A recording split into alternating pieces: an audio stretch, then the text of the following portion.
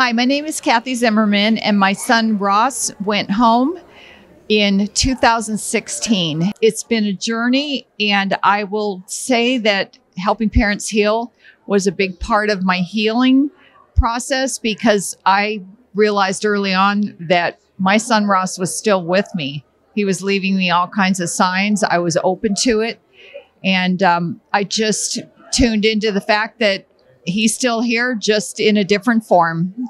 And so I'm just offering those who are feeling sad and justifiably sad that if you keep your heart open and feel for your children or your child, you'll feel it coming through. And I just know that your child is trying to reach out to you too. And if you just keep your heart open, you'll connect.